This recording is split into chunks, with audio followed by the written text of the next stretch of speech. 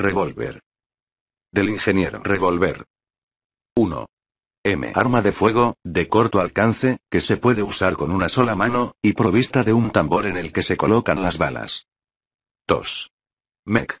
Dispositivo que soporta varias piezas y que, por un simple giro, permite colocar la pieza elegida en la posición adecuada para su utilización.